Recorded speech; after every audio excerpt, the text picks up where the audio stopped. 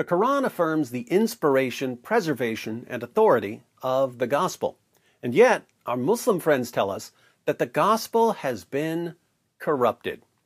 And no matter how many times I show our Muslim friends what the Quran really says, no matter how many times I challenge them to show me a single Quran verse that says the gospel has been corrupted, they continue insisting that the Quran says something completely different from what it actually says. Since they haven't read the Quran, they always seem to assume that there must be some verse somewhere in the Quran that says the gospel has been corrupted because that's what their sheikhs and imams tell them it says. Fortunately, there is a way for all of us to finally get to the bottom of this. There is a way to settle this dispute and see who's right and who's been duped by lying sheikhs and imams. In this video, we're going to read every single verse in the Quran that mentions the gospel. If you're watching this and you're a Muslim, you're about to learn way more about what the Quran says about the gospel than your sheikhs and imams will ever tell you. They do not want you to know this, so they hide it from you. If you're watching this and you're a non-Muslim, you're about to have some awesome material for some very interesting conversations with your Muslim friends. You're about to go from beginner to expert level. Now, to ensure careful reasoning as we go through these verses, let's set up two hypotheses here at the beginning, and then we'll go through the Quran and see which hypothesis is confirmed by the evidence. My hypothesis, we'll call it the D. Wood hypothesis is this. According to the Quran, Allah gave different revelations to different groups of people through different prophets, and those different groups are responsible for obeying the scriptures that were revealed to them. Christians received the gospel through Jesus. The gospel is still reliable and authoritative, and Christians are commanded to judge by the gospel, not by the Quran. That's the D. Wood hypothesis. If the D. Wood hypothesis is correct, Muslims face two major problems. First, the Quran sounds like it's saying that Allah gave a book called the Gospel to Jesus, and that Jesus then gave this book to his followers. But the Quran says that Christians still have the Gospel, and that Christians have to judge by the Gospel. Since Christians have never had a book that was given by Jesus, Allah apparently doesn't know what he's talking about. Second, in the Quran, Allah really seems to think that the gospel that Christians still have agrees with the Quran, when it clearly doesn't. Since Allah affirms our scriptures when our scriptures contradict the Quran, Allah once again doesn't know what he's talking about. So, that's my hypothesis and those are the two main problems for Islam if my hypothesis is correct. Then there's the Muslim hypothesis. We'll call it the standard Islamic narrative. The standard Islamic narrative is this. According to the Quran, Allah gave different revelations to different groups of people, but they were all corrupted except the Quran. Christians received the gospel through Jesus, but they corrupted it. The gospel is not reliable or authoritative, and Christians must now judge by the Quran, not by the gospel. That is what you believe, isn't it, my Muslim friends? That is what your sheikhs and imams tell you, isn't it?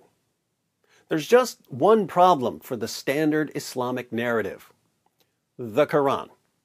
Let's go through the Quran and read every single verse that mentions the gospel so we can see which hypothesis is correct.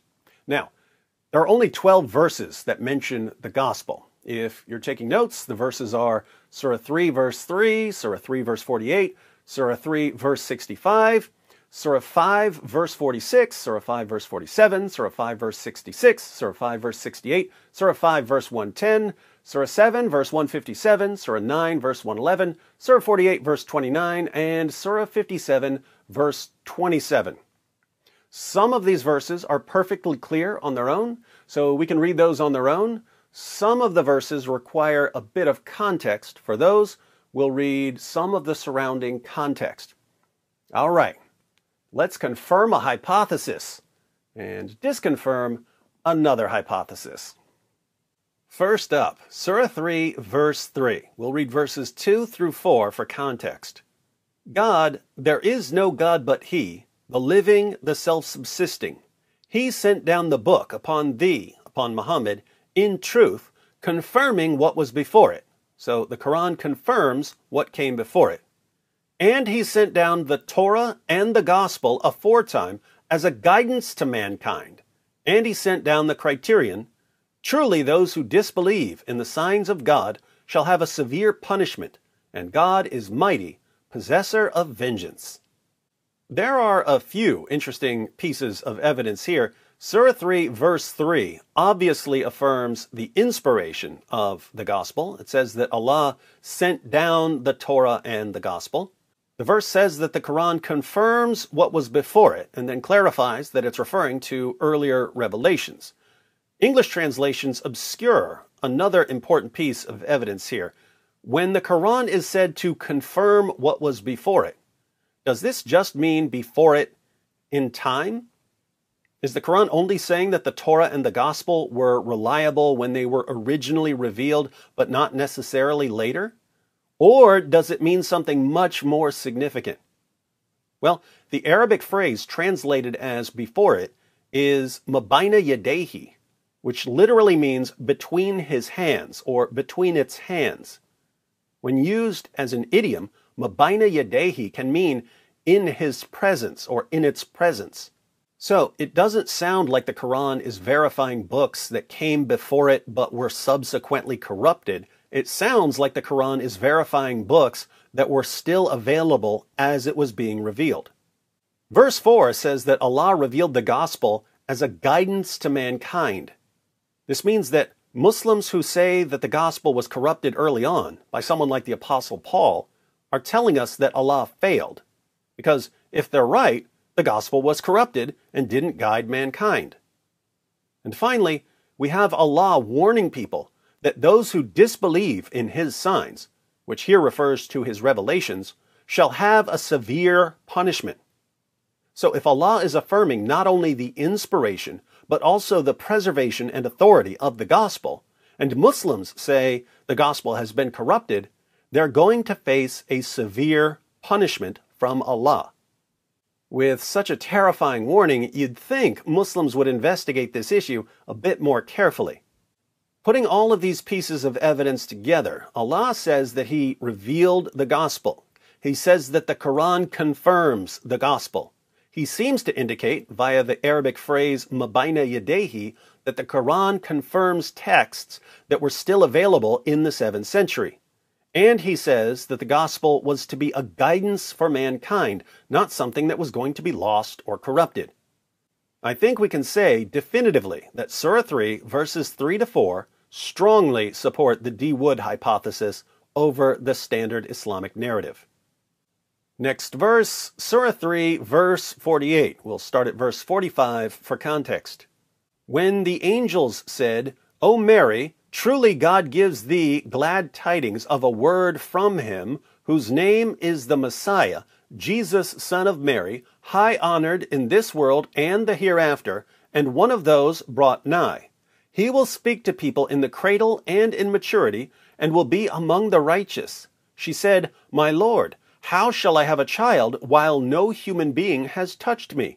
He said, Thus does God create whatsoever he will. When he decrees a thing, he only says to it, Be, and it is. And he will teach him the book, wisdom, the Torah, and the gospel.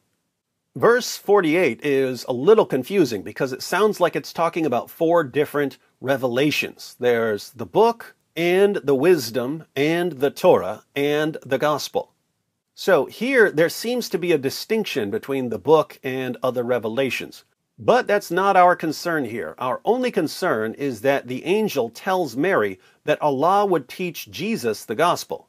Since both the D. Wood hypothesis and the standard Islamic narrative claim that according to the Quran, Allah revealed the gospel through Jesus, this verse confirms neither hypothesis over the other.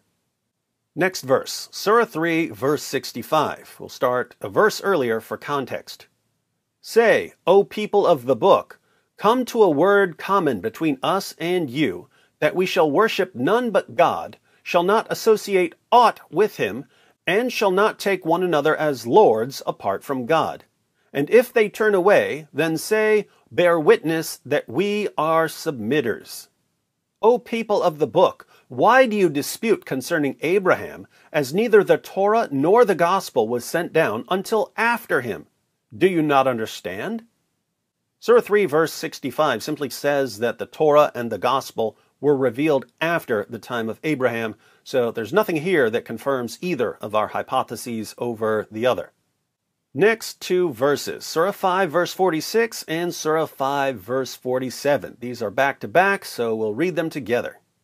And in their footsteps we sent Jesus, son of Mary, confirming the Torah that had come before him, and we gave him the gospel, wherein is a guidance and a light, confirming the Torah that had come before him, as a guidance and an exhortation to the reverent.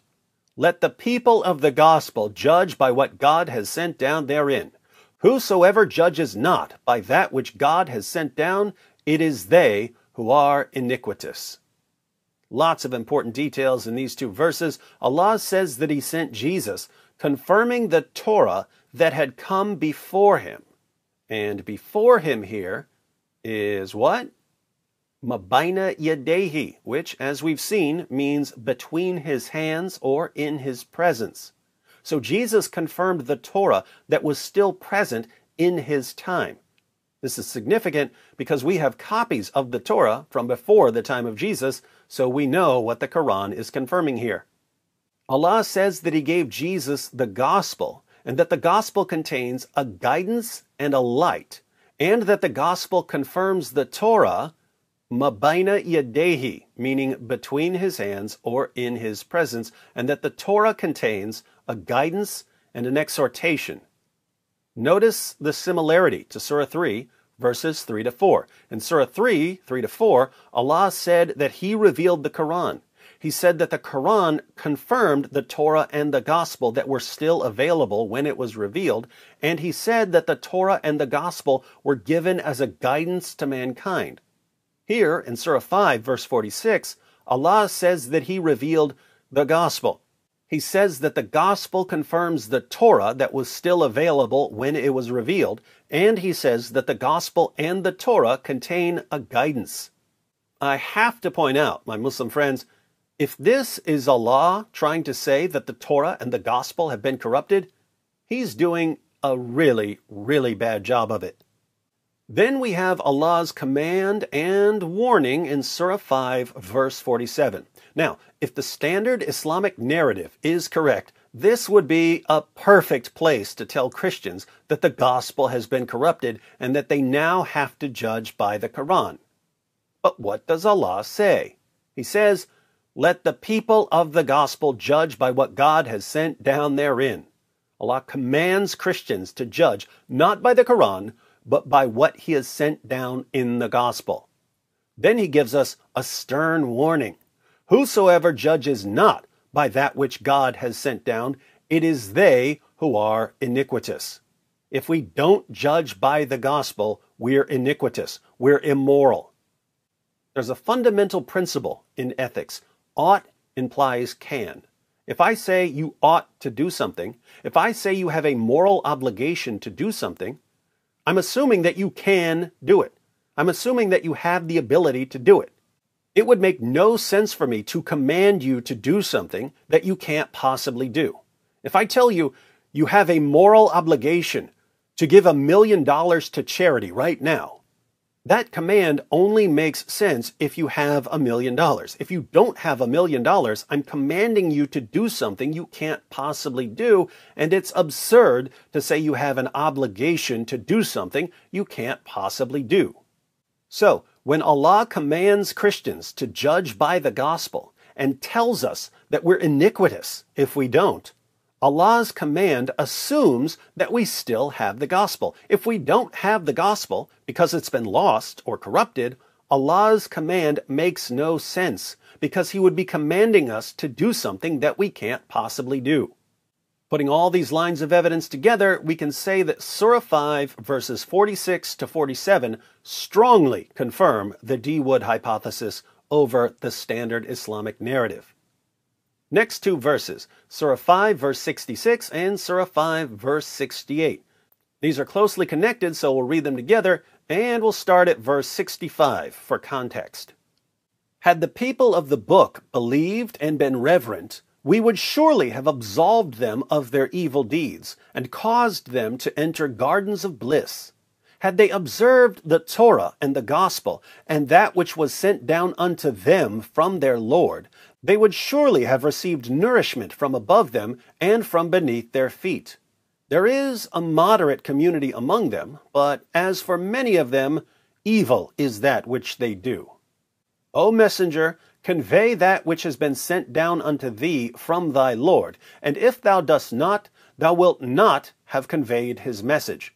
And God will protect thee from mankind. Surely God guides not disbelieving people. Say, O people of the book, you stand on naught till you observe the Torah and the gospel, and that which has been sent down unto you from your Lord. Surely that which has been sent down unto thee from thy Lord will increase many of them in rebellion and disbelief, so grieve not for disbelieving people. Here we have a common theme in the Quran that Jews and Christians don't believe or aren't reverent. Had they observed the Torah and the Gospel and that which was sent down unto them from their Lord, something we can only do if we still have the Torah and the Gospel, they would surely have received nourishment from above them and from beneath their feet. Another theme in the Quran is that there is a minority of Jews and Christians who do believe and who do obey God. The Quran's criticism of Jews and Christians is not that we have corrupt scriptures. It's never that we have corrupt scriptures. The Quran's criticism of Jews and Christians is that we don't obey our scriptures. If you think I'm wrong, look at what Allah says in verse 68. O people of the book, you stand on naught till you observe the Torah and the gospel and that which has been sent down unto you from your Lord. Jews and Christians have nothing to stand on until we obey the Torah and the gospel. Remember, ought implies can. Can we obey the Torah and the gospel if we don't have the Torah and the gospel? No. So Allah is declaring, yet again, that we still have the Torah and the gospel. And He's commanding us, yet again, to obey the Torah and the gospel. And it's clear, yet again, that Jews and Christians are supposed to judge by the revelations that were given to us, not by the Quran. Surah 5, verses 66 and 68, much like verses 46 to 47, strongly favor the D. Wood hypothesis over the standard Islamic narrative. Next verse, Surah 5, verse 110. We'll start at verse 109 for context. The day when God will gather the messengers and say, What response did you receive? They will say, We have no knowledge. Truly it is thou who knowest best the things unseen.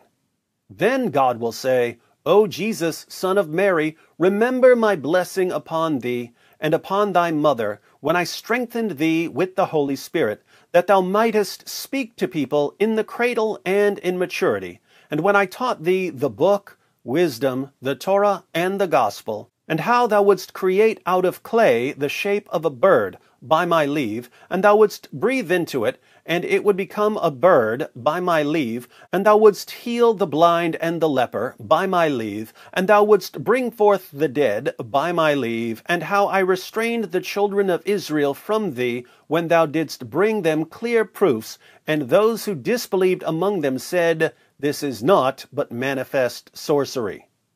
Plenty of interesting material here, but the only relevant part for this video is Allah saying that He taught Jesus the book, wisdom, the Torah, and the gospel.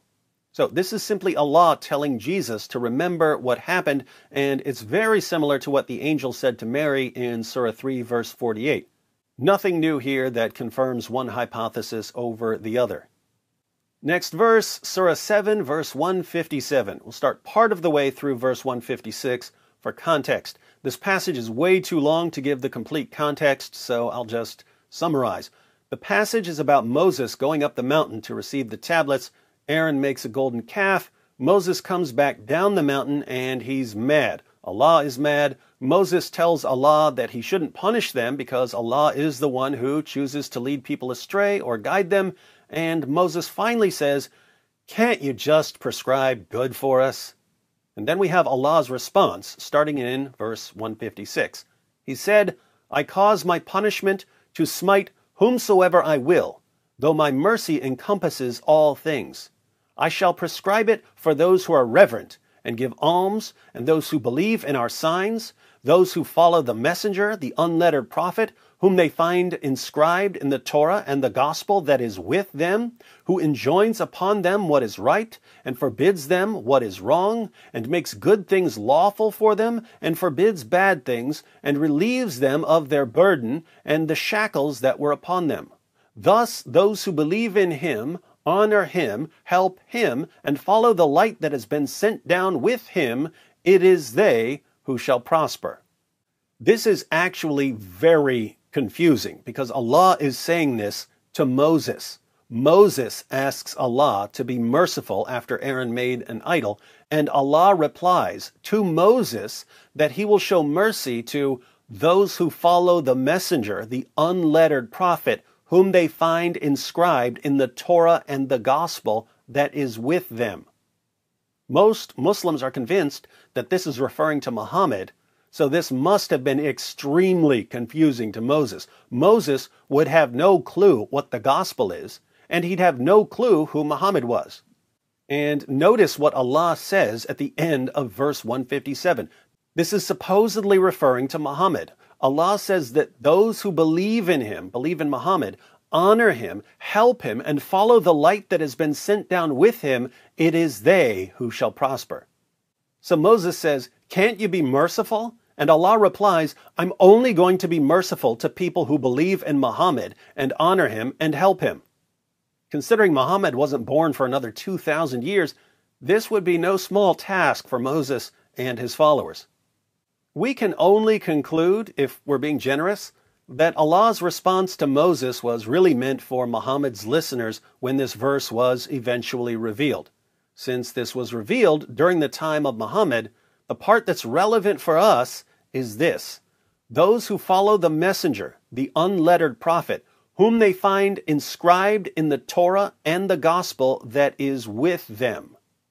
This verse claims that Muhammad is prophesied in the Torah and the Gospel. More importantly, Muhammad is supposedly prophesied in the Torah and the Gospel that is with them.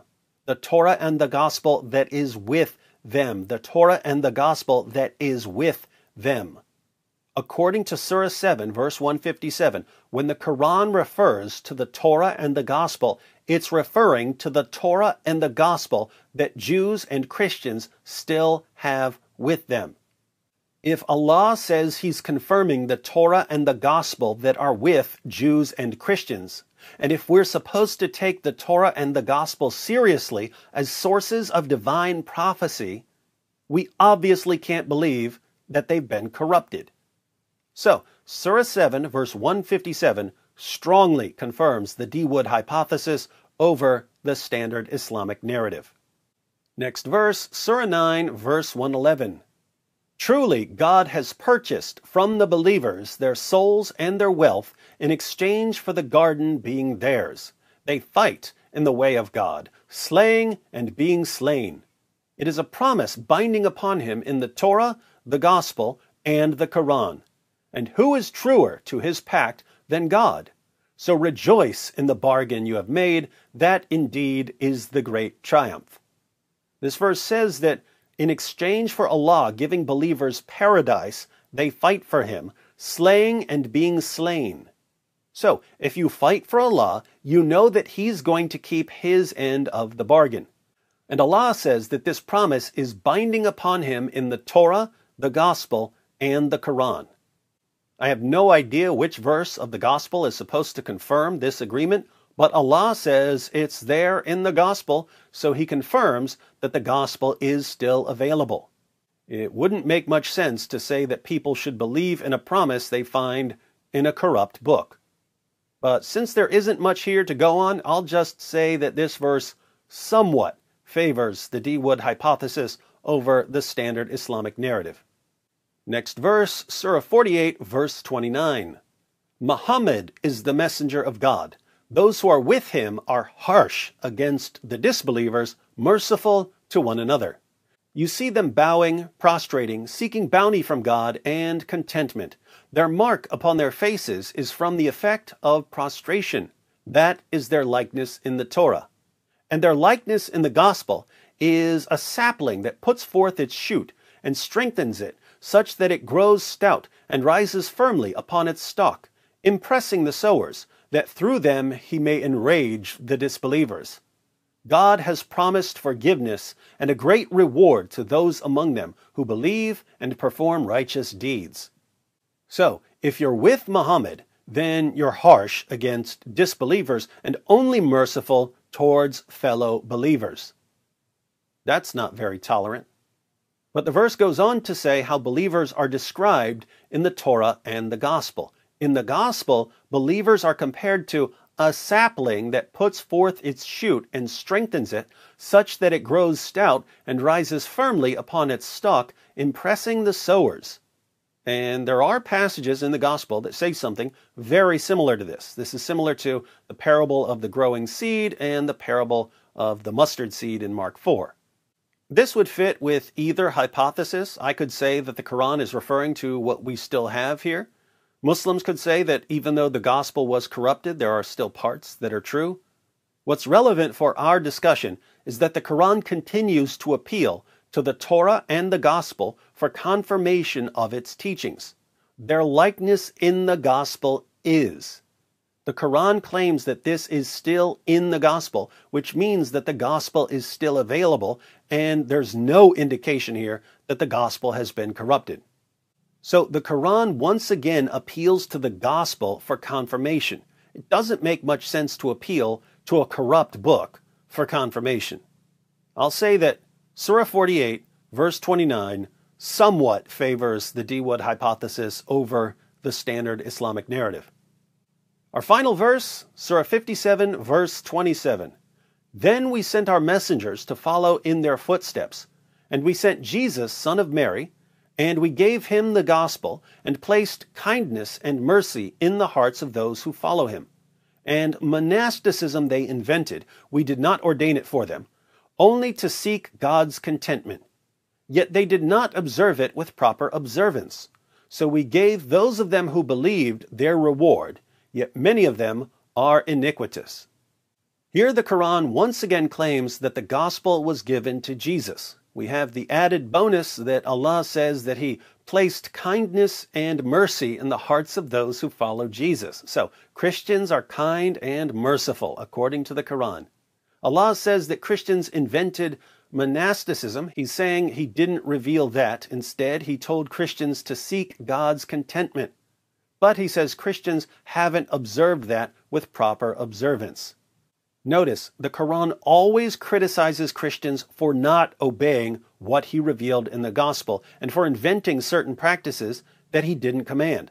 Allah never, ever, ever condemns our scriptures or gives even the slightest hint that our scriptures can't be trusted. And we know this because we've now gone through every single Quran verse that mentions the gospel. Since Surah 57, verse 27, fits with either of our hypotheses, we'll say that it doesn't confirm one over the other. Although we could argue that if the standard Islamic narrative were correct, Allah should be saying, in all or at least some of these verses, that the gospel has been corrupted.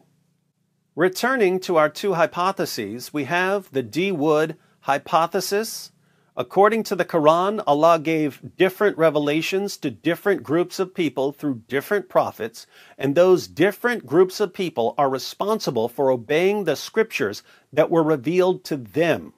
Christians received the gospel through Jesus, the gospel is still reliable and authoritative, and Christians are commanded to judge by the gospel, not by the Quran. Then we have the standard Islamic narrative. According to the Quran, Allah gave different revelations to different groups of people, but they were all corrupted except the Quran. Christians received the gospel through Jesus, but they corrupted it. The gospel is not reliable or authoritative, and Christians must now judge by the Quran, not by the gospel. After reading every single verse in the Quran that mentions the gospel, we've seen that four verses, 348, 365, 5110, and 5727, confirm neither hypothesis over the other. Two verses, 9111 and 4829, somewhat confirm the D Wood hypothesis over the standard Islamic narrative. And six verses, 33, 546, 547, 566, 568, and 7157, strongly confirm the D Wood hypothesis over the standard Islamic narrative. There isn't a single verse anywhere in the Quran that confirms the standard Islamic narrative over the D. Wood hypothesis. Allah repeatedly affirms the inspiration of the gospel. He repeatedly affirms the preservation of the gospel. And he repeatedly affirms the authority of the gospel. Christians are commanded to obey the gospel. In fact, we're told that we have no ground to stand on until we obey the gospel. Christians are criticized and condemned for not obeying the gospel. Allah never says one word, not one word in the entire Quran, that's even slightly critical of the text we have before us. And what do all of our Muslim friends say? Don't believe the gospel. Don't judge by the gospel. The gospel has been corrupted. You can't trust the gospel. Everyone has to judge by the Quran now. They say the exact opposite of what Allah says in the Quran, and then they tell us to believe in the Quran when they clearly don't believe in it. My Muslim friends, how can you possibly tell us to respect the Quran when you don't respect the Quran at all? How can you possibly tell us to obey Allah when you also tell us not to obey Allah? If Allah tells us over and over again to obey the gospel, and He tells us over and over again, yes, I'm talking about the gospel that Christians still have, and then you say, no, don't obey the gospel because you definitely don't have the gospel, you're telling us that Allah is either a liar or a complete moron. You're telling us that Allah is the worst communicator in history. Why would we take the Quran seriously when, according to you, it was revealed by a liar or a complete moron? Your God affirms the inspiration, preservation, and authority of our book. You tell us not to believe what your God says, but to believe your book anyway. If we can't trust your book when it talks about our book, why would we trust your book at all? A more important question for you would be this. When your God tells you one thing, and your lying sheikhs and imams tell you the exact opposite, why do you side with your lying sheikhs and imams and not with your God? Why do you call yourselves Muslims, people who submit to God, when you really submit to your lying sheikhs and imams, who insult and degrade your God. And since you've decided to submit to a bunch of liars and not to God, why do you want us to join you in submitting to the biggest bunch of liars the world has ever seen?